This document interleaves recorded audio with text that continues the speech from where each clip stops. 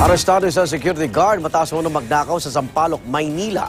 Ang ninakaw, barya-baryang kinita ng isang nangangalakal ng basura. Darito unang balita ni James Agustin ng Super Radio DCWB. Hindi ko ninanakaw yan. Kahit 20 centavos, 50 centavos, pigi sa isa ko yan. Mas may pangkain ako. Oo, totoo yan. Totoo yan. Sa mga anak ko, doon ko sila binuhay sa pagbuti lang. Wala bang mga hanap ko na trabaho. Ito lang. Napaiyak na lang sa presinto si Jose Cañita matapos nakawin sa kanyang mamiso na aabot sa isang daang piso ang halaga. Buong araw siyang nangalakal ng mga plastic, bote at bakal kahapon. Maipon lang daw ang pera.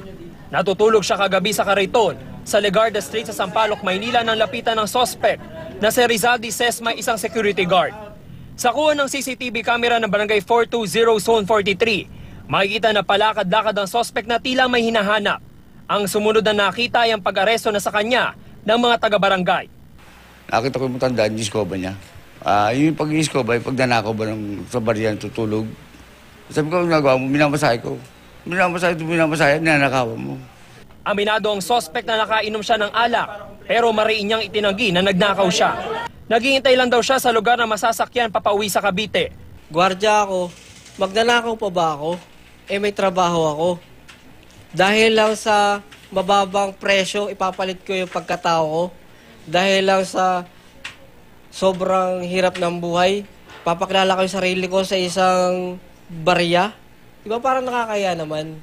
Maharap ang sospek sa reklamong theft.